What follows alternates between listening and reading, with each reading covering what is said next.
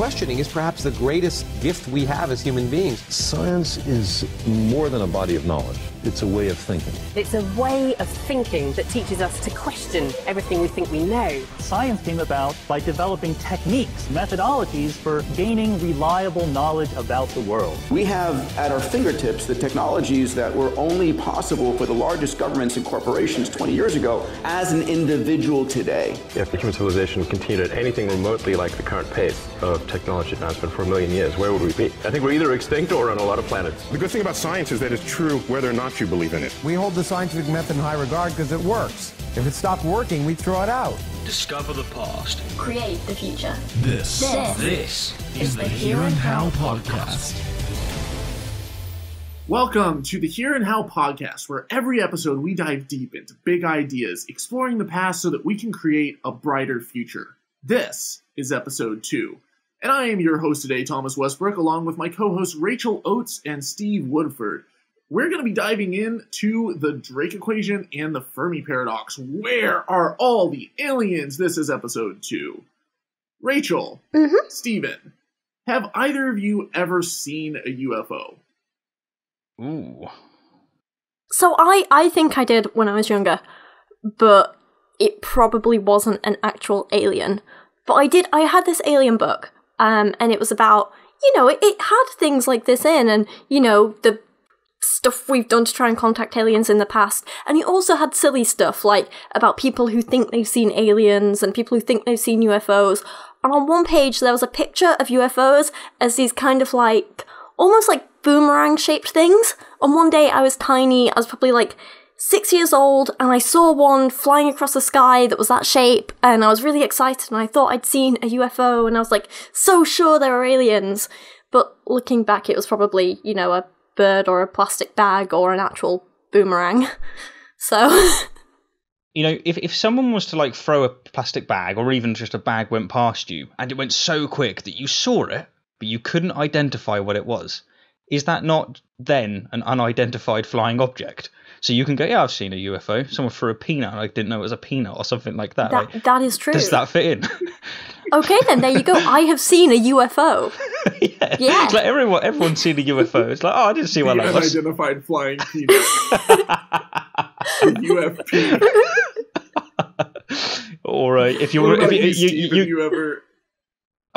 I was just thinking you can make it an unident- uh, unidentified flying Oreo. You know, then you get to the action room.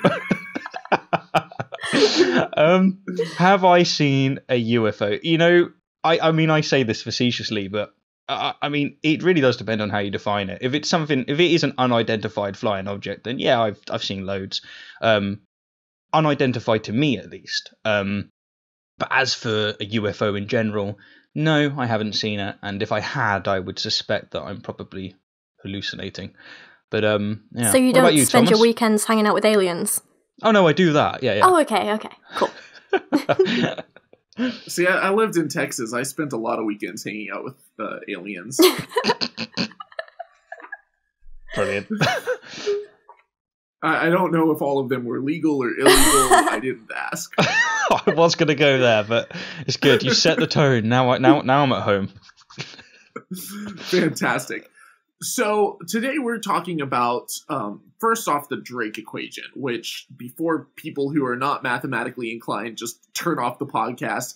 It's uh, we're gonna simplify it, make it easy to understand, but it was basically this this guy named Frank Drake, who he was in uh, the year 1960. He was working for the National Radio Astronomy Observatory, or NRAO, and he was trying to figure out if there was you know any basis for the the idea that there should be some type of intelligent life out there trying to communicate with us which i don't know why anyone would want to communicate with us because you know we eat tide pods hey i'm smart Pe- well aliens would want to communicate with me i think M- maybe no one else just you rachel yeah just Rachel. So, uh, like this alien she, lands, walks right past the us. Plastic bag.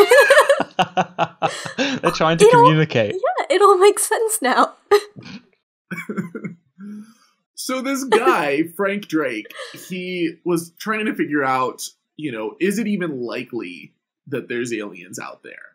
And um, so he basically took, I think it was like a napkin or something, and I, this this might just be folklore, but he was kind of just wrote down uh, an equation for how to figure out how to determine if um, there are aliens out there. And then then he came and there was I think it was some big meeting with uh, Carl Sagan or somebody, and he, he basically presented this equation.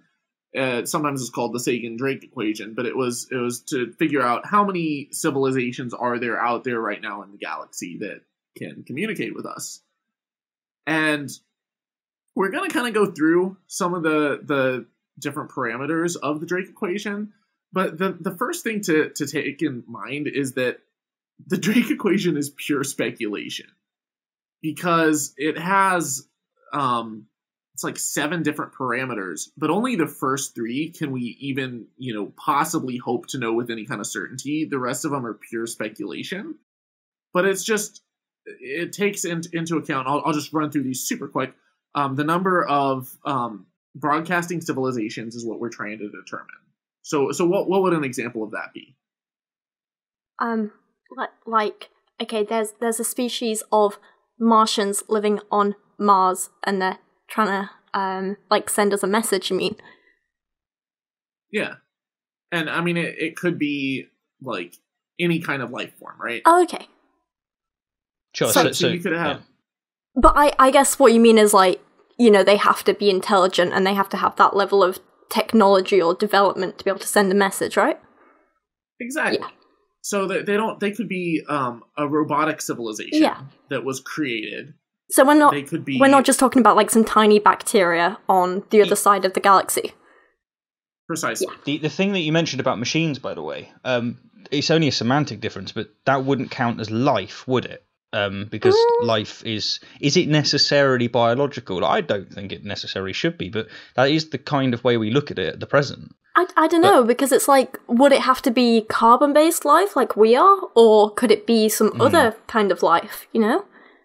Yeah. Well, I think one of the biggest things in determining if something is alive is the ability to self replicate. Yeah. Yeah.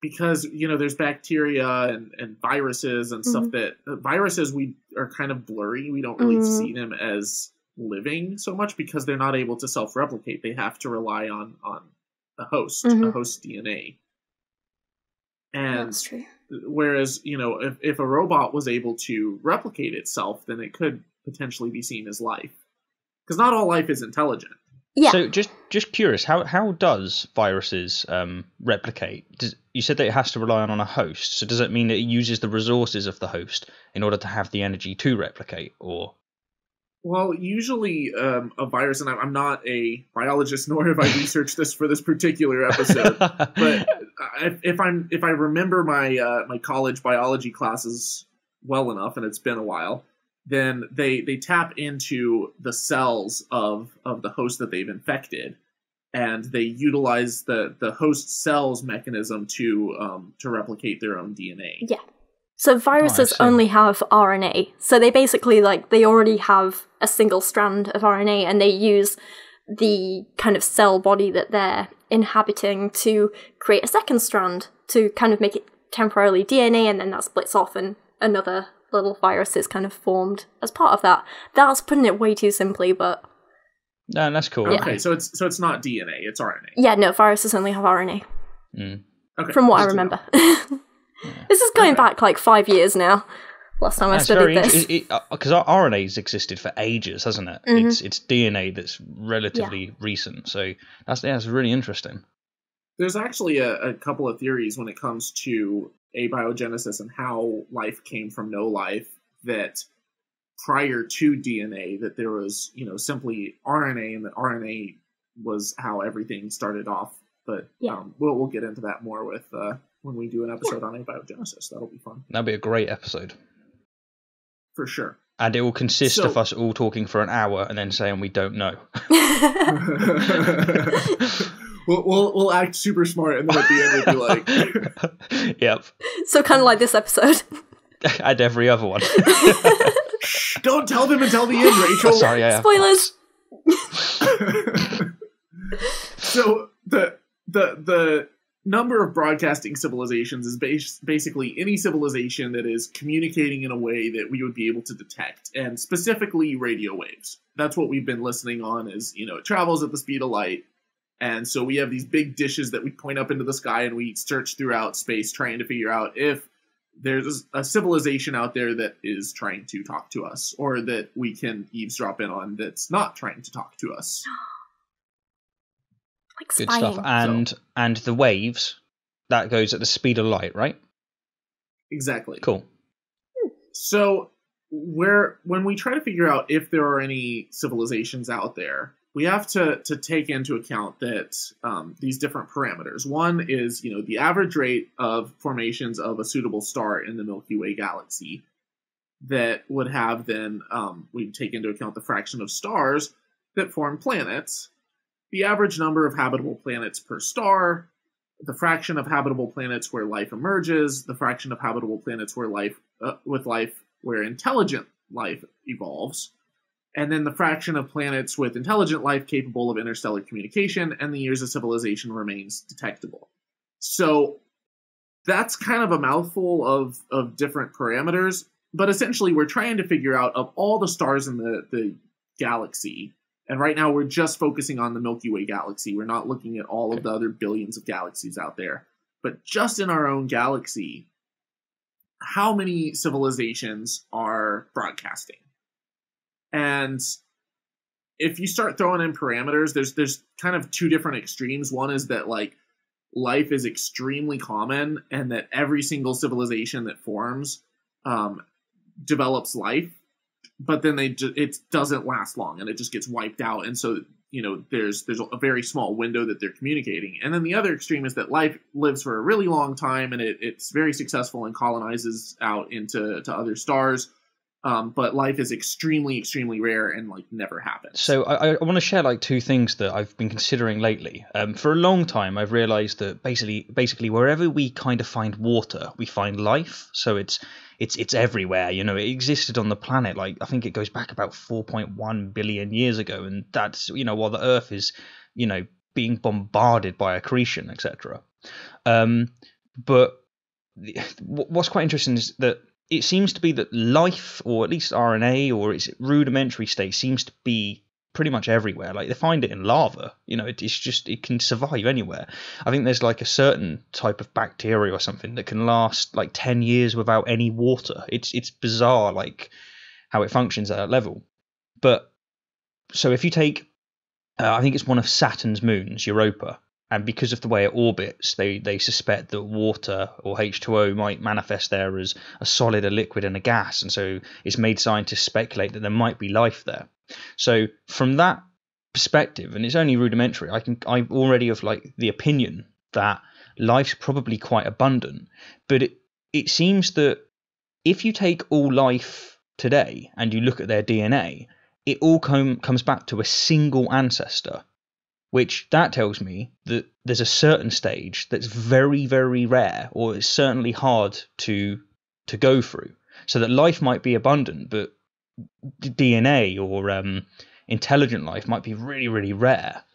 I just thought i'd um, throw that up for what you guys think to those two facts particularly and maybe how exactly they they work into the drake equation No, I, I definitely think that's kind of the case because if you look back at just the Earth and um, kind of how we got to the point where we are today, there were definitely at least two or three major points where they, um, I don't want to say predict, but they um, they at least assume or worked out that there were two or three major points where most life on Earth was just wiped out for one reason or another, whether it was wi- mm. via disease or some kind of temperature change or environmental change or something like that. So it does seem like there are these big kind of stages where it's kind of all or nothing in terms of what survives and what doesn't.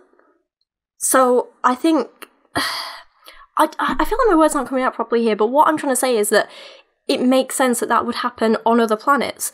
And maybe there just hasn't been any specific species that's got past that point yet. Yeah, no, it's like it's You know? very hard for us to make predictions based on the fact that we only have one example of life to to and so we can't really generate you know sweeping answers because we Yeah. only have what we have to work with. So yeah, I, I see where you're coming from there. And we haven't exactly been around a long time either. And we No. haven't been looking for these things for a long time. So, Mm. One interesting thing that's that's kind of changed since the 1960s when when Fermi came up with this equation is our understanding of what's required for life has evolved. okay. So, you know, at the time you were talking, um, Stephen, about uh, different bacteria that can, you know, ex- uh, extremophiles that can live in either like thermophiles in extreme heat or, or that can ex- uh, live for long periods of time without water. Yeah, I think I learned that from you, by the way. I think you told me that a couple of weeks ago. Yeah, we're we're actually recording this episode a second time just because the the first take was uh, a bit rough. um, but yeah, there's there's I think the tardigrade can survive basically in outer space, and you know we've seen different um, amino acids, different building blocks for life on uh, meteors. So it's you know it's it's not too outside the realm of possibility to think that hey if, if life can you know form or survive or even thrive in extreme situations it's not too unlikely to think that it might be extremely common throughout the universe Mm. But intelligent life is where it starts to break down Yeah. um as far Yeah. as you know whether or not you could have um intelligent thinking life how many instances do we have of that you know we- Yeah. we, Yeah. just have the one Mhm. and so even if we find billions of planets and billions of stars and we look up and we're like oh hey like you know all of these planets that we've discovered and i, I think it's um, the, the kepler telescope has discovered hundreds of, of different exoplanets that are outside of our solar system and do you guys know how they determine um, what these these uh, or how they, they find planets around other stars I, not really, I don't know. Yeah, en- enlighten us, good sir. So if if let's say that you're looking up through a telescope at, at a star and you suddenly see that like this star got a little bit dimmer, and then you wait uh, a period of time and it gets dimmer again, Ah. and then you wait the exact same amount of time as between the first and the second, between the second and the third. There's a third dimming. Then you suddenly you can tell that there's something in orbit around this this star.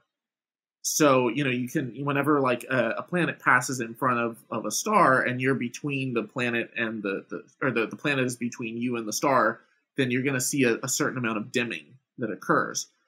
Now you can also use um, spectroscopy to measure the the light waves that are coming in, and you can see on a graph, you know what this planet is made out of. So you can see, oh hey, there's um, this much water, there's this much, or there's this much hydrogen, there's this much oxygen, there's this much carbon, and you can kind of get a rough idea of, you know, is this a gas giant? Is this a terrestrial planet that could be habitable? And you can kind of start to get a, a better picture of what the, the stars or what the planets out there that are orbiting nearby stars are made out of. That is so smart. Yeah, very very interesting. Is that is that the best methods we have for for detecting um, other planets around other other stars, or do do you know if we have other ways, like by using infrared or uh, ultraviolet? Um, I, I I believe that there's also, and I'm I'm not an astronomer, but I believe that one of the methods that they use is detecting wobbles. So like if there's a uh, a they can see like that the gravity of the planet is causing a star to wobble. Then I, I think that's one way. Um, but this yeah this would definitely be a, a more uh, an interesting area to do more research on, and I encourage our listeners to. Um, but basically right now we, we we've discovered we've detected several hundred planets some of them are terrestrial some of them are uh, similar in size to earth and uh, some of them even look like they have they might have water on them so you know the, but aside from that do you know how many uh, planets we've detected that are emitting any kind of radio waves None. Um, y- Oh. yes, I think. uh, Well, Wait, can Yeah. radio waves be emitted naturally? yeah, like I, Oh. mm. Oh, then I don't we know. don't know. we we actually haven't detected any intelligent signals Mhm. from outer space So I was Um, right. Do I despite get a fact point? That You know, you said that. SETI SETI has been searching, you know, very uh consistently for decades. Although it's we're still we you know So we're only scratching the surface of of what might be out there. if that if if, if we've been searching for decades, so I, I don't know what it is. Do, do you happen to know? Should we say fifty years or so, or um, I want to say since Um, the sixties. Okay, Yeah. sure. So if, if we say that, you know, we've been searching for 60, 70 years or, or whatever, and my math is obviously brilliant, um, that means that we've searched around us for 60, uh, 60 light years, right? No, six, yeah, yeah, 60 light years, which I I think it's Neil deGrasse Tyson. I can't remember who said it, but is that not like putting a glass in the sea and then looking at it and going, look, there's no whales? Like, it's just, it's Well, such actually, a small quick- area. A quick clarification on that. Mm. Um, we have not like we've been broadcasting out radio waves for about a hundred years, so our reach is only about a hundred light years. So if there's any alien civilizations outside of that uh, area, they would not be able to detect us yet. But there might be an alien civilization that existed that that was maybe a hundred thousand light years away that was broadcasting a hundred thousand light years ago, and we would just now be receiving it. Yeah. So you know, we we might be picking up, you know, or we might pick up something, you know, at ten years from now that's like, oh my god, we're getting a signal from this alien civilization but that they could was be wiped out thousands of years ago or millions of years ago, Yeah, that's which would it's, kind of be sad. it's such an immense amount of space. I remember one of the first scientific facts anyone taught me that blew my mind is they said the star. I don't know how far away it is, but he but he said, "This my granddad." He said, if you got a telescope that was powerful enough from a planet going around that sun, that star, um, and you looked at Earth, like just it was just powerful enough to see it, you would see the dinosaurs because the light hasn't traveled fast enough for it to get there yet. So like when it comes to space, the, the the just how big and long and just it, it's just so it seems so big and so almost unfathomable that let's just say for example aliens did exist and like, it's the best case scenario for the people that want aliens and you know they're 60 light years uh, let's say 100 light years away and they detect us and they immediately go right we we want to go and see the this civilization assuming that Einstein's right, they can't go any faster than the speed of light, so it's going to take them 100 years to get here. yes the the that's true the flip side to that is that if you have you look at the age of the milky way right and it's like 13.5 billion years right Mhm. Obviously there's going to be some time at the beginning for you know for life to kick off and to evolve and we don't know if maybe we were slow maybe there's a, an alien civilization that was much much faster and they their planet was much more suitable for life early on and maybe they developed a, a few billion years ago because our Mhm. earth you know is only like four point something billion years old right Yeah. so there's other planets that have been around longer that maybe they they evolved much quicker the milky way is huge it is massive but if you have an alien civilization, you start to factor in, eh, eh, you know, we love to explore.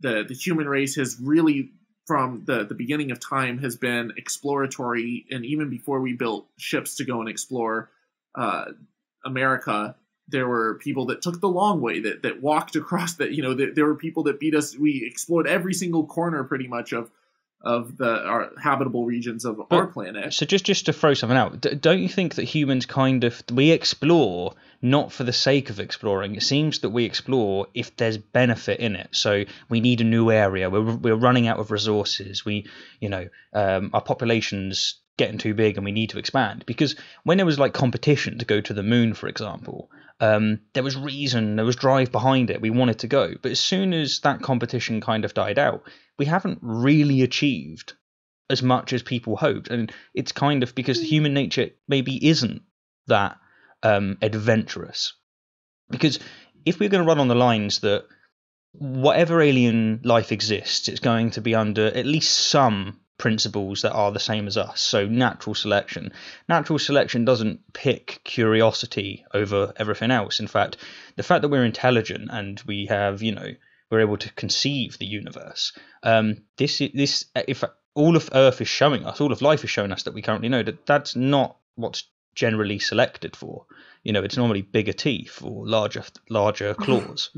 Um, That's actually a good point. Nat- natural selection oftentimes punishes curiosity. yeah. But we still have pressures that push us, and it's not just the human race. You'll see certain insects or bacteria or things that that in a very short period of time can just spread out throughout you know changes in, in a population can just spread out throughout uh, you know the entire world or or you know a new variation of of some uh, virus or some insect gets introduced to a new region and, and within a few years it's like just exploded out ballooned out. So it's it's not too unlikely to think though that if space exploration was cheaper that you know if if it was more feasible if our technology was more advanced to where all of us could have rockets you know that as earth fills up and as you know pollution and and you know or just overpopulation or whatever reason uh pushes us outwards or you know trying to avoid extinction or the earth is expanding that that our race and it's likely to think that other alien races functioning also under evolutionary pressures would expand out throughout the galaxy and Yeah, sure, sure. do you know do you know how many times do either of you know how many times in the the, the course of the the lifespan of the Milky Way um that an alien civilization could have have populated um the the, the entire galaxy Did, did you say the um the Milky Way's been around for thirteen point eight billion? I think it's it's 13 point something one second age of the Yeah, we got the internet people. 13.51 Awesome. So is that basically just as old as the universe beginning, or um, is the universe a bit older? I, I haven't brushed up on my numbers recently. I was just curious. like that's quite interesting. If if our galaxy kind of basically came into existence dur- at, at the Big Bang, that's very very cool. Um.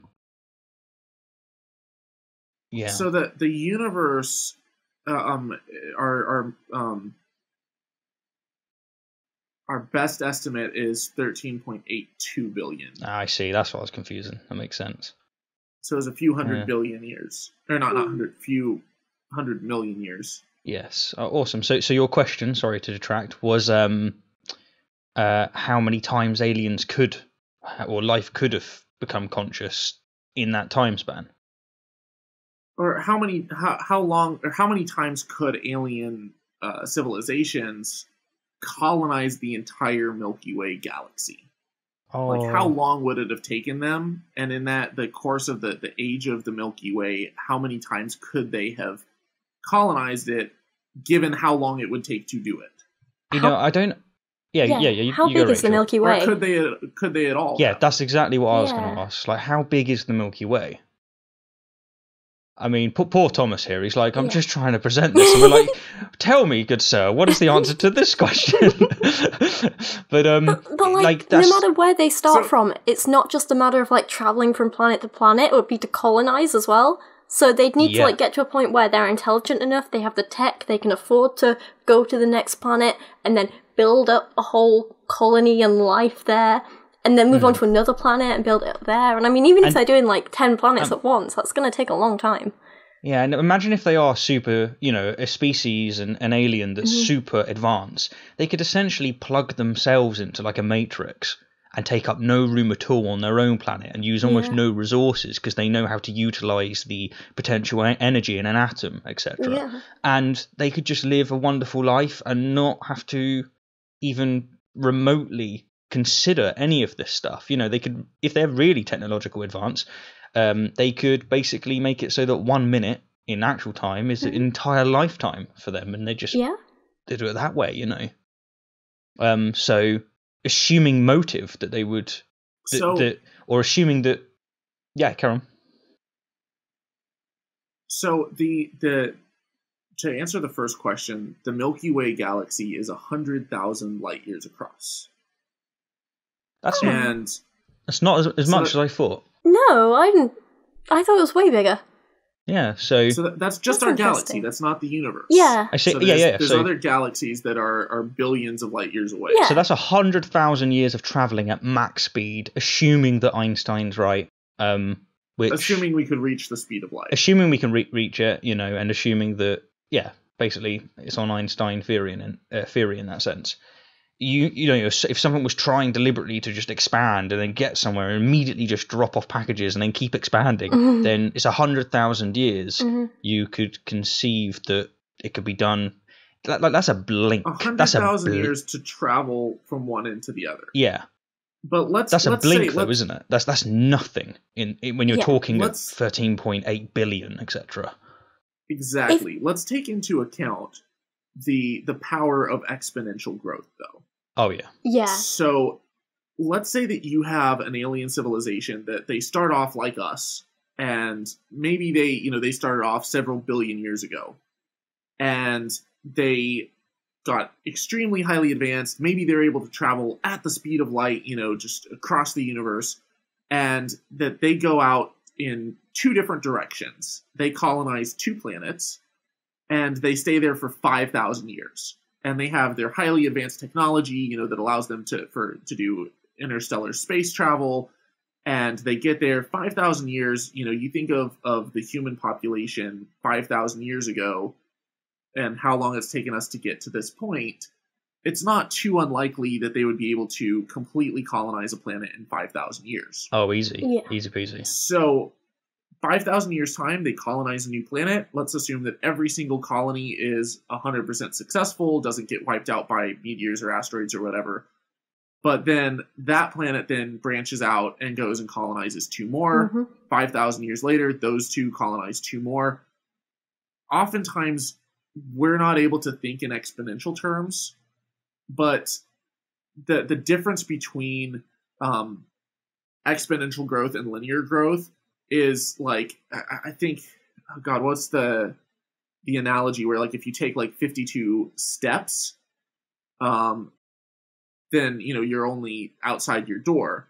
But if every step is like multiplied by you know two or something, you'd be like all the way across America or so- Yeah, some, yeah, yeah. all the way across the, the Yeah. universe or some like massive, massive like like we don't think in terms of exponential growth, No, but but it's you know if it, it's crazy. It's absolutely crazy. You just expand enormously, and while these are time frames that are huge to us, little puny humans, it is nothing Yeah. in the grand scheme of things. So exactly yeah, and that's that's assuming that these alien civilizations are that they're just going and that they're settling and staying put and that there's not you know they go and then 20 years later they send out another ship and 20 years later they send out another like Yeah. that's assuming that there's 5000 years between each new um, outreach to to colonize new planets. Maybe they're colonizing thousands at a time. That's yeah, But you also have to take into And- account the time it took for them to like get to the point where they could do that in the first place. Like it took us sort of what a few billion years, so yeah, like it, well, you know, to go from like f- no yeah, life to where we are today. yeah, That's true, but so we if if the age of the Milky Way is thirteen point five billion Yeah. years, And we assume And- life kind of started within those, within those first few thousand years. It would probably take the first like four billion years to maybe get to where we are now, plus another Yeah. thousand years on top of that. you So- know, um, so our planet our planet's only like four billion years old, yeah, and Yeah. and so there could have been a planet that existed for four billion years before our, our Mhm. planet ever came around. And not only Yeah. that, like even if it took an immense amount of time for life to first emer- first emerge, and an immense amount of time for them to become technologically advanced, um, once they're advanced, Mhm. in low no less than a, I mean, this is way too much time, but in a billion years, it could absolutely, c you know, be absolutely everywhere. Oh yeah. Um, they could become the virus of the universe, kind of thing. Um, Yeah. so yeah, it's it's quite it's quite crazy to think of it. So if you way. take a, a hundred thousand light years, Mhm. and you know, and you say that that they're branching out, you know, that they're that maybe they're traveling one light year or something, and then they're spending five thousand years just in one place, and then they're branching out to two. You know, a hundred thousand times five thousand. You know that that's only five hundred million years. Yeah. It's not. You know, for them to, to travel a year and then wait five thousand and then In the grand know, scheme of travel a year things, that's nothing. 5,000. That's But then yeah. you also factor in exponential growth, Mm. and that every five thousand years it's branching off into two, and it's it's very conceivable. Now that that is assuming that they are able to travel at the speed of light. We, we haven't gotten anywhere close to that. Yeah. Yeah. Anywhere close. and that they care, and that's the way they Yeah. want to pursue. Uh, there's there is like as you said at the beginning, it's very uh, speculative. It's it's Mhm. built on assumptions, but can it happen? Yes. Um, yeah, I, I, I wouldn't say I'm. Yeah, yeah. I mean, the w- the way you've put it is very convincing. It, it can, that can happen. You know. Yeah. and and even if even if they haven't colonized everything by now then you know maybe they uh they they would have colonized enough of it for it to be detectable Mhm. or you know that they would have sent out some type of probes maybe they're not colonizing every planet but maybe they're sending out uh, a von Neumann probe which basically is is goes to um communicate Mhm. or a Bracewell probe um, that you know perhaps these probes are going and they're, they're self-replicating and they're you know then sending out more probes to more locations and the probes are exponential and we, we should have come across some type of, of alien probe. Um, a bracewell probe is, is for communication a von Neumann probe i believe is for self-replication. But you'd think that we would have something like that that maybe it's just sitting here waiting for us to come up with uh, radio waves or some way of detecting us and then, then it'll turn on it switches on and it, it appears and communicates to us from some ancient alien civilization But- but we, we haven't seen anything like that But but I think to expect that we, I mean, we're thinking about things in the grand scheme of things. We're talking millions, billions of years, and we're saying yeah, it's totally possible in that sense. But as we said earlier, if our waves that we sent out hundred years ago or so, that it's been detected, or you know, it's going to be detected when it hits something that can receive it, um, it's going to take an immense amount of time, unless they're very close by, um, and care, etc to come to us. So it seems to me that it's just we just we just don't live long enough. It's just there's not enough time to to to judge whether or not to, to, to even ask the question why aren't they answering us? It's it's like you ring someone up and in the first millisecond you're going, oh, no one answers. um, Well, That's- exactly, and that, that's where we're we're starting to get into some of the solutions to the paradox because that's the Fermi paradox basically says if it's possible for them to expand out into the universe, and if there's all these civilizations that that might exist out there, then where are they? Like, where the hell are they? Mm. So, Ra- Rachel, you were saying, Yeah, I was just going to add that that kind of like brings us back to the Drake equation, in that like I think it's worth mentioning that the Drake equation isn't necessarily a set equation that you can pump specific numbers into and get an output. Like not in the way that some like physics um, equation is. The idea be- behind the Drake equation that it was was that it was meant to start this conversation. It was meant to start getting people asking, "Is there life out there?" It was meant to start these processes of us sending out messages. It was meant to start people looking into researching if there are ways we can, you know, communicate with other species, if there are any messages being sent back to us. It was meant to kind of kickstart this research, kickstart these discussions, so that in 50, 100, 1,000, 100,000 years, we can still keep looking for this stuff, even if there isn't time to get it in this generation. Does that, that make sense? exactly. It's Yeah. it's like it's not a scientific equation in the sense that you know you, you think of you know Newtonian physics or general relativity Yeah. or something, and, and you can use formulas, scientific formulas, to land a probe on a comet with extreme accuracy. yeah. And you're not able to do that like anything remotely similar to that with the Drake equation. It's basically you can plug in a huge variety of of inputs into it yeah. and the the last four parameters are just speculation. You Mhm. know, the number of years a civilization remains detectable. Well, the only civilization we have is our our um, Our own. you know input that, that Yeah. we know about is us. Yeah. So we're like, well, we've we've lived as a broadcasting civilization for about a hundred years, where we've been broadcasting radio waves out into space. We don't know if maybe tomorrow we're going to be, you know, there's going to be some super volcano that destroys everything on Earth, and that the average civilization only lasts for hundred years where it's detectable. Or, or it might even be that um, if you look at like the correlation between CO2 emissions and temperature, it like follows a thousand years afterwards. It might be that us, we're going to do exactly what crap tons of civilizations have done, and that is that you get into to an age of industrialization, you destroy your own ozone, ozone layer, and the ramifications come a thousand years later and wipe you off the planet. Um, it could be that a load of them just they don't get past that barrier. Um, Exactly. yeah. Yeah. Well, and that's where you know as we'll we'll start diving into some of the the solutions to the paradox of you know why is it. Um, but it's important to to take that note though that Rachel made that the Drake equation basically the whole purpose of it is to show us that it's possible. Mhm. It's possible that there's other civilizations out there. There's a wide variety of inputs that we can throw in here, and that even in different extremes, it's very likely that there's some type of civilization. And now we get into the Fermi paradox. of Mhm. If it exists, if there is an alien civilization, why haven't we detected them? And the the first kind of the most fun one that I, I want to touch on is uh, you know, they're already here. You know, the the um, X Files theme song and uh, put your tinfoil hats on. But why do why do you guys think that that's uh, not very feasible? Do you, do you want to go first?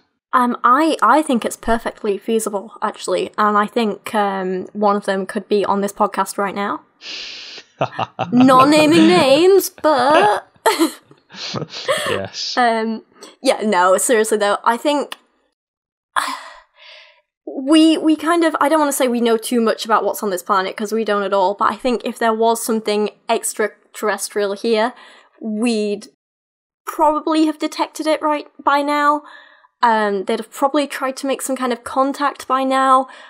It would. but what if the government has and it's all a conspiracy? Well, that, that's the thing. I don't really see any um, plausible reasons as to why you'd cover it up that much, or why they'd want to hide, or why you wouldn't tell the public. Like, without going into like crazy conspiracies, I just, I it doesn't seem logical. Let- Let's say Yeah. that the, the wackiest of conspiracies in, in that Mm. area is true. You know, like an an, a- an alien ship crashed and the Mhm. U.S. government, um, you know, concealed it and they're hiding it from the rest of the world. Yeah.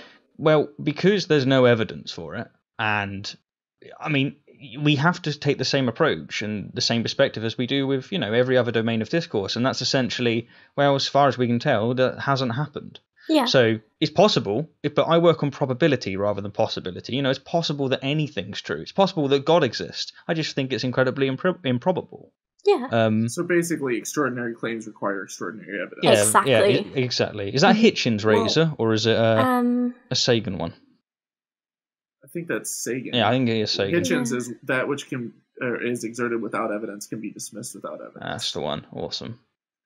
but yeah, it's it's like um, you know, the the government is not efficient. Anyone who has ever worked for the government knows that it cannot keep a secret to save its life. No. and you know something as as you know monumental as making contact first contact with an alien race like that's something that that would be public we would see it we'd be able to to you know nobody would be able to keep a secret and I feel like keeping um, it a secret would just cost too much time and money, and the effort, like it just I- wouldn't be worth it. I just don't think it's possible. You know, Well, as, as you were just what's- saying. No, say again? What what's the the analogy that that you gave with uh, Monica Lewinsky um, I don't remember. Enlighten me.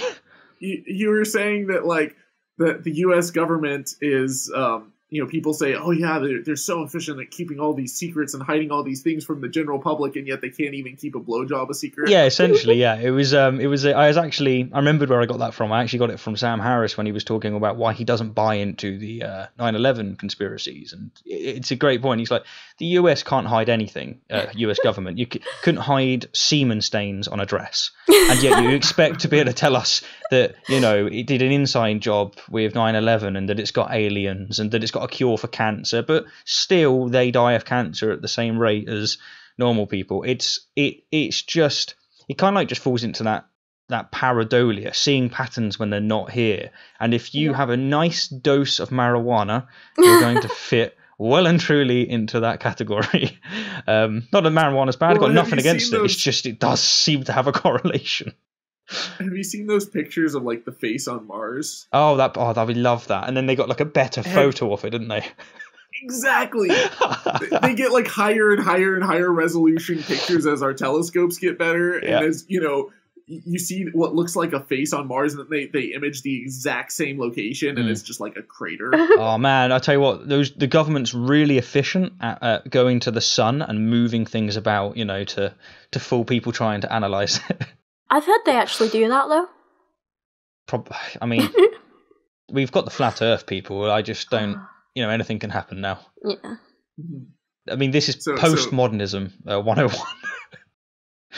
Maybe it's it's the the pancake Mars theory, and Mars is just like a pancake. It's just it looks round, but it's just because the it's it's facing towards us. Mm-hmm. And you know, all all that our government did is they they launched a nuke at it, and they they flipped the pancake. That's the one. but it's it's what what boggles my mind with this whole idea that like the government is covering up some type of conspiracy is that the people who claim that they have encounters with aliens and that they got abducted and they got probed and that they saw a light these are like the dumbest people on our planet Uh, I mean, you I- think like if aliens are coming at all the way across the galaxy, they have the most highly advanced technology in the universe. They're able to travel to Earth, but they're not able to tell who the president is or where the pa- systems of power lie, and so they're taking some, you know, drunk farmer in his pickup truck in order to get a closer look at its butthole. Just you know, I, I heard a version of that, which is like the idea of this advanced civilization spending, you know, massive resources to travel light years to just, you know, basically leave leave a hole in in your farm, you know, just cut a few of the crops and then just disappears. That you know, that just as a concept's mental. But you're you're right. The idea that they would come here, anally assault someone and then disappear is really weird. what, what if it's it's a bunch of, of just teenage um, aliens who are they're pulling pranks. That's their idea of fun. and and it's it's like you you have some type of alien police that are you know they're they're undergoing some type of prime directive of don't interfere with other you know civilizations. They have to emerge on their own. And then you have a bunch of teenagers that are going and like haha let's go make crop circles on you know ZXQ19 you know that that civilization has no idea about us yet Oh, or let's go down to that Egyptian painting and just slightly change it so it looks a bit more like a spaceship. Oh, yeah, that'll do it. Face on Or- or Mars, people who say- graffiti. Yes. the, the pyramids the, the pyramids oh we have no idea how to to make these are such advanced uh, structures it's like dude it's literally a stack of rocks it's like the most basic of shapes you could possibly it's a pile of boulders Yeah, I mean, I mean, I give it to them. You know, like to lift up that immense weight and to you know leverage it into Hmm. position. The the accuracy, the geometry of it all is phenomenal. Like so impressive. Mm. But it's just amazing how people will see something that's just they dedicated their entire lives to but this. it's Like not, not as much as the parthenon they, yeah, I know. like the parthenon is so much more precise but we're not assigning that to like alien civilizations No, all no, you no. need is a ramp to build a pyramid Yeah, and the other thing is like they recently found. Well, I say recently, it was like the last twenty years, I think it was. Um, pretty much demonstrable pr- proof that the pyramids weren't built by slaves; they were built by followers of of the same religion. You know, they believed if their pharaoh was accepted to the to the heavens or their equivalent, then so were they. So they spent their entire life, you know, at in this pursuit of building these pyramids. And it's just funny to watch people just turn up and go, right, I can't understand this. And then they just personal incredulity fallacy or an argument from ignorance and go, we don't know how they did it, therefore God or therefore aliens. It's Yeah. just bizarre. Yeah. But that that's humankind. And I think that's probably one of the biggest reasons intelligent life would not want to visit us.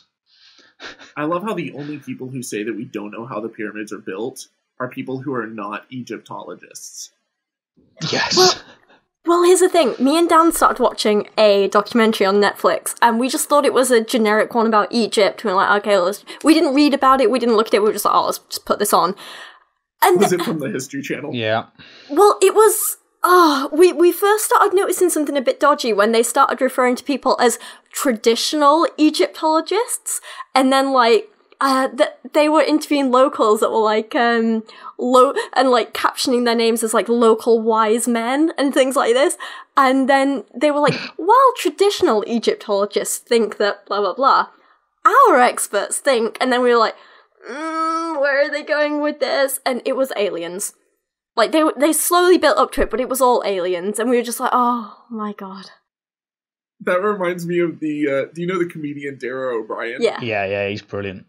He he has a bit where he's like, you always have people who you know they'll say like, oh, we got to get a doctor in here, and then we need a second opinion, so we're gonna go to some like whack person who's just like crazy, and it's like, wait, why? Like, you know, it's we have all this this highly advanced you know uh technology, and yet They you know, they do that with we're not just getting the creationism as well, don't opinion. they? It's it's like it's the same game with any kind of pseudoscience. You know, you cre- creationism. They do it. They go, here's you know a prestigious uh, evolutionary biologist, and here's some guy that got his doctorate from theology in truthology or some. You know, it's just it's mental. Well, and it's that that comes down to like not every position is um equally valid. You know, we don't Yeah. teach they they say teach the controversy. It's like no, we don't still teach students alchemy Or We don't stork theory of reproduction. astrology. Yeah. That's true. It- th- those theories got replaced because our understanding expanded. Yeah. Yeah, to the point where it's just it's not justifiable anymore. It's like that- that's a contending theory. Fine, you know. I mean, I'd even just call it a contending hypothesis at that point. But to assert that it must be taught as equally true is the reason why education is not as good as it could be. Yeah. So, Steve, Rachel, Mm-hmm. if aliens are not currently here with us, if they're not living among us and it's covered up by the government, uh, what are some other solutions to the Fermi paradox? Um, they they're all dead already. yeah, so All Dead is definitely Yeah. in there Mhm. for sure. So, like a, a, a some great filter. Mhm. So okay, yeah, weren't so Like so they- s- They never cross cross that threshold. Like something Yeah. wiped them all out. Yeah, Okay. and that kind of like goes back to the two that the two that we've kind of brought up in is the great filter, if you will, something that is just something that life just can't get by. Maybe it's that they mess up their own atmosphere and they really don't have the technology and ability to fix it in time, and it just it, that might just be what causes it, or it might just be gamma rays. It just might be some something just so out of out of your ability, and it just like boom, a star blows up and it shoots out something and it's just gone instantly. And the other one is that I think the main one is time. Like a hundred years is nothing. Yeah. I, I think it's just it's it's it's not even hubris. It's just stupid to think. I mean, maybe it's not. Maybe maybe Einstein's wrong, and we can travel faster than the speed of light. Maybe that is possible.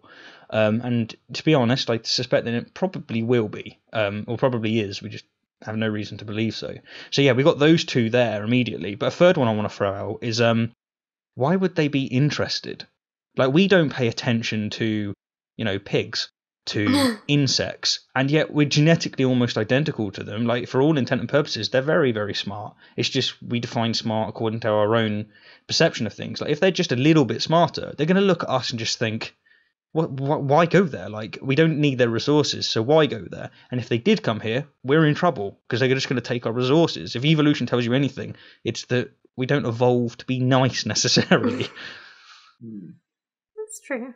Well, yeah, and, and that's that's the, the called the zoo hypothesis, where basically they're they're observing us, but they don't really have any reason to interact or communicate. Or Star Trek has the the prime directive, where you know we know from studying you know contact with with new civilizations that almost always just making contact with them inevitably changes their society usually for the worst. So like whenever we'll we'll meet some new tribe in like papua new guinea or something they'll they'll get access to to guns or something and they'll use it for some advantage to either wipe out all of the the fellow tribes or they'll you know completely change the landscape around them and certain technologies people just aren't ready for. You know, you don't necessarily think about, hey, I, I have an axe, I'm going to go chop down every single tree in the forest, and then you know, or on the side of this mountain, and then the next year the the rain season comes and it, a landslide wipes out your whole village.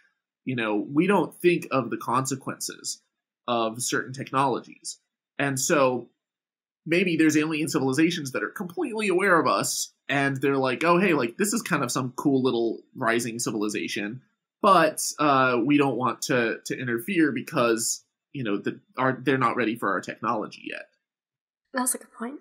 I think Yeah. that that kind of also raises the issue of why um, the Drake equation and Fermi paradox are relevant to not just talking about other civilizations, but are kind of relevant to our everyday lives because it gets us thinking about the long term and what's going to happen to us in the long term. And if we can consider the possibility that other civilizations have wiped themselves out by making stupid mistakes, hopefully it can serve as a warning to us not to do the same thing and not to just wreck our planet, you know? Yeah, de- definitely for sure. And well especially if if we saw instances of intelligent life all over the universe then you know it's like okay if if if we wreck up this planet no biggie but because this is the only one that we know of Yeah. because this is the only source right now that that we are aware of that has intelligent life and it might be extremely rare or it might be extremely fragile that should be a huge incentive for us to try to to foster um, life for us to try to expand and to colonize other planets and to protect and, and cherish the life that we have on this this planet. mhm, I completely agree. Yeah. So yeah, there's we talked about some different filters. You know, Mhm. you could have. Um, you were mentioning earlier, Rachel. There there were um, a total of five mass extinction events that we're aware of, and that's things like super volcanoes, uh, climate change. You know, the Great Oxidation Event. That you know there was so much oxygen in our atmosphere that the life that wasn't used to it was wiped out. Mhm. Um, you can have other things. You could have uh, your your home star expand or solar radiation wipe out life. You can have asteroids that completely. You know, we had one that killed off the dinosaurs. If there was one that was maybe uh, a, you know a certain degree bigger than the one that wiped out the, the dinosaurs, it could have completely sterilized our entire planet. Yeah. Um, but the the other thing, another solution would be that some type of alien super predator. Why do you think that an alien civilization would want to wipe us out? Because by For competition. resource- for resources and competition. Oh, yeah, yeah. that too. Yeah. Or what if it just sees us as a threat? Or what if it just sees us as tasty? Yeah, yeah. I mean, Yeah. that, you can't put looking at us. You can't put that past Yeah. a civilization. You know. I mean, I'm Um, not speaking for you two, but I think I would make a great meal. Just, just saying. You're advertising yourself to cannibals. no. The aliens fly by and they just see like a chef says, "I Yeah. make a great meal." You're, you're, you're gonna get a you. vis- You're gonna get a visit from that plastic bag again tonight. Oh no. Be like, you want to contact us? Um, it's just hovering outside well, my we were just talking about. You were just talking about how how one of us is is an alien. mm. No. Next episode, tune in and Steve will talk about his life as a reptilian. I will. I hope nobody watches the vi- this video on YouTube because they notice glitches where my uh, skin doesn't quite, you know, sit onto me properly, and you can see my lizardness underneath. Careful, ET. The government's listening. Yes. What if what if I'm not here next episode because you've eaten me? Well, you know, speculation. Oh no. oh, it's okay. We've already recorded the next one, so we're safe. Episode four, Oh, I'll oh, be yeah. missing. Yeah, it'll be episode four. That'll be the one. Ah, brilliant. So, So, as far as um, the solutions, as it were, so can you go over what we've said before? So, one of them is that um, they're not interested. Mhm. Second is that they, well, not interested slash don't care. Um, what the the main one that I seem to think, uh, well, the, that I do think is that it's just not been enough time. Um, well, as far as the time goes, the biggest thing there is that um, distance has prohibited contact or detection. yes. That one, that one really applies to um, galaxies outside of the Milky Way, because you know we think about the the hundreds. Oh, God, I, I forget if it's 300 billion stars on the Milky Way. Mhm. I, I forget the exact number, but it's a stupidly big number of stars. But then the total number of galaxies that um, are in our universe Mhm. outside the Milky Way is is also in the, the hundreds and hundreds of billions. And I, I think it was just last year or the year before where they, they realized it was like 10 times bigger than they had thought.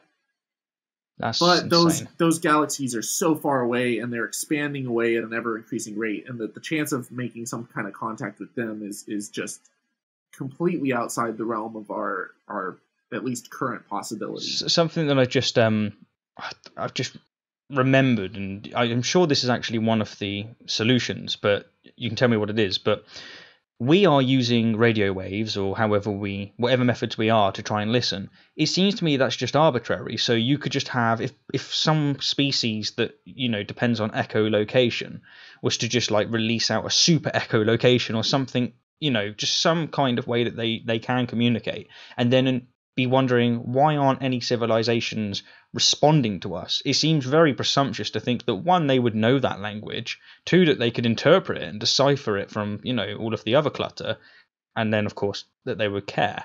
Um, but yeah, I mean, it is. Well, a, a couple things on that note is that one echolocation is not possible because it relies on sound, and first of all, sound is is Yeah. Much much much much much slower than the speed of light. It is, yeah, yeah. And second, you cannot send an, an echolocation signal through a vacuum. No, you can't. And as you said, there's there's not really sound, etc. So it's not going to work. But you know, Radio surely there's other waves ways that you could do it, like other Radio waves travel at the speed of light, and it's you know the it relies on electromagnetism. Mm. And so, as far as we know, that is the only and the best way to communicate. But it, maybe there's some, you know, something that we haven't discovered yet. Maybe there's something about you know the universe and time and space that you know we're going to find a better way.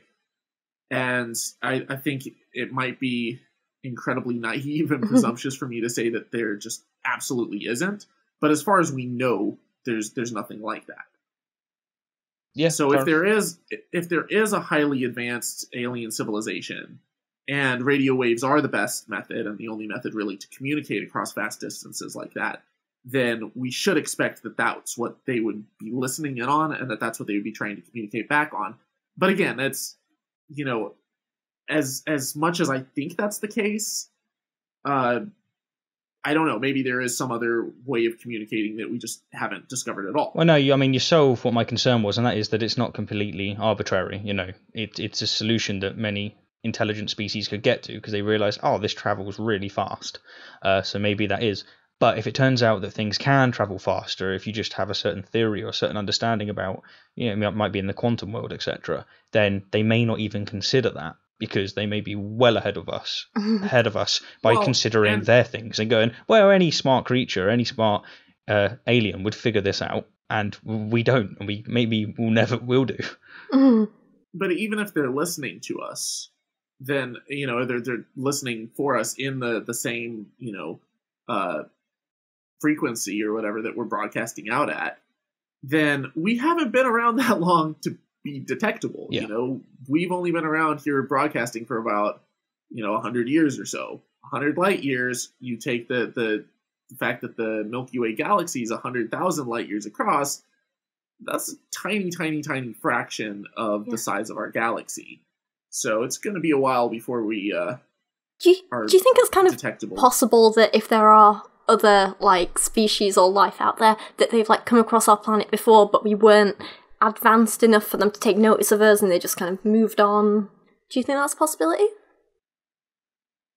it's it's possible, but I think if if an alien civilization were to travel to, to Mm. try to colonize um, space and they were to to find our planet and realize that it was habitable and that it was you know uh, suitable for life that you know maybe they they came and uh, if they're going to travel all the way out here and use all the resources to get here they might as well set something up but it's possible that you know maybe while the earth was you know extremely hot maybe during the Hadean era and it was not even remotely habitable to life Mm. maybe they passed by Mm. and maybe they were in the neighborhood You know, you know, if they were like, if they, well, they would have to be. They're well travelled. They might be bored of seeing life, and there's only certain types of planets and life that they're interested in visiting. See, I always view these kind of things through the through the purview, through the through the vision of evolution, assuming that they would be the product, at least in part, of that. Um, and it might be that you know we we've went past. I can't remember what planet it is, or it might actually be Europa. I don't know where it is actually, but there's a place where methane basically is a solid, a liquid, and a gas, just as we have water.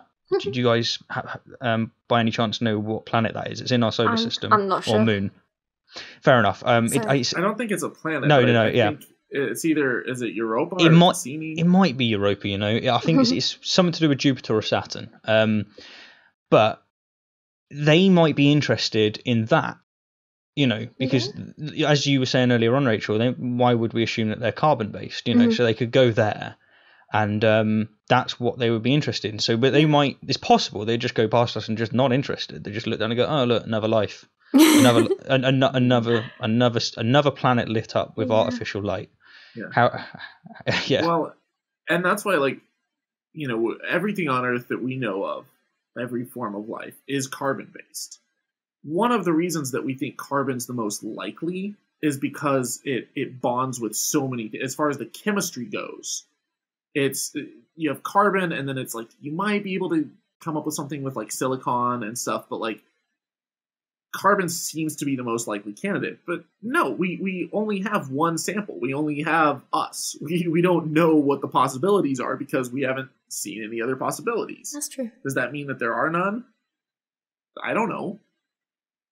Yeah, I hmm. mean, but- so it's one thing that I realised when speaking about the Drake equation and the Fermi paradox before is that one of the first things people kind of debate and get in discussion about is do you actually believe, you know, as we kind of touched at the beginning actually, do you actually believe there's aliens? Because a lot of people don't.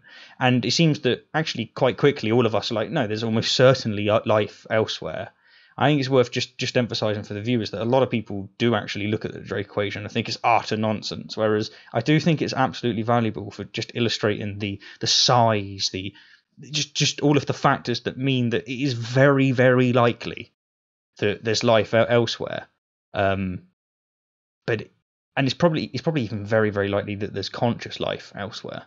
Mm. It's just but then whether of it's intelligent and whether it's seeking other life.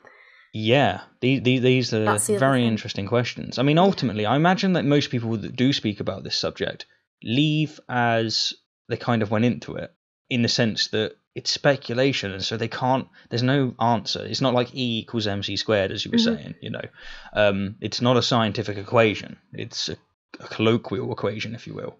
What for you, Thomas? Like, what do you think the main reason is? Have we already covered it, or is it maybe something else, another factor, or another another reason that's given? Honestly, I, I think that it's. I don't think that it's just one of them. I think that you know life probably is fairly rare as far as intelligent communicating life goes.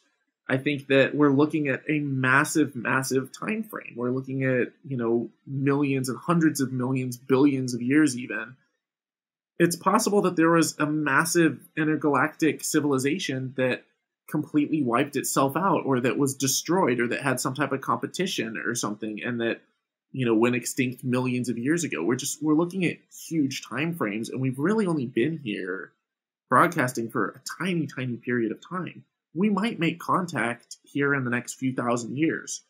I don't know that it'll happen in our lifespans but it's you know we're, we're looking at a tiny drop in an ocean in a fraction of a second and expecting to find a whale. And that's you know it's it's like Steve that that's kind of the analogy that you gave was like you know t- taking a bucket in the the ocean and looking for whales. Yeah. You know, but it's it, we're looking we're we're not looking at a bucket, we're looking at a drop.